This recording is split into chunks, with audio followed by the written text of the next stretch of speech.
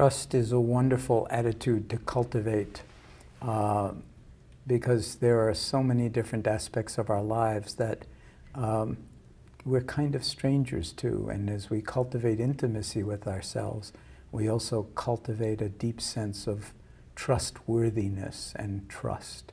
And uh, a good place to start is with ourselves and with our body. So, um, can we actually come to trust the natural wisdom of the body and uh, how beautifully the body supports our life? Uh, we very often take it totally for granted until something untoward happens. But noticing that, you know, in general, we can trust that the breath will take care of itself. Luckily, because if we had to worry about the breath, we would die a long time ago.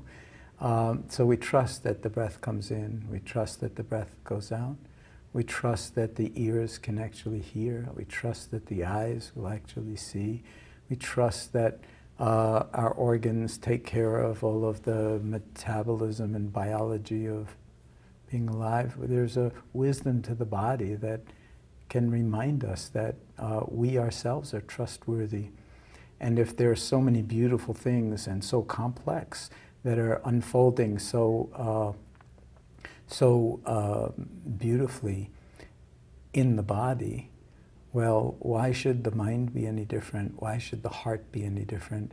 So the more we can learn to bring trust to ourselves, the more we can actually learn to bring trust to our relationships and to other people and to nature and to uh, the various challenges that we face in life so that uh, we can actually uh, reside in our own um, confidence in our own ability to uh, meet whatever comes towards us in ways that can be effective.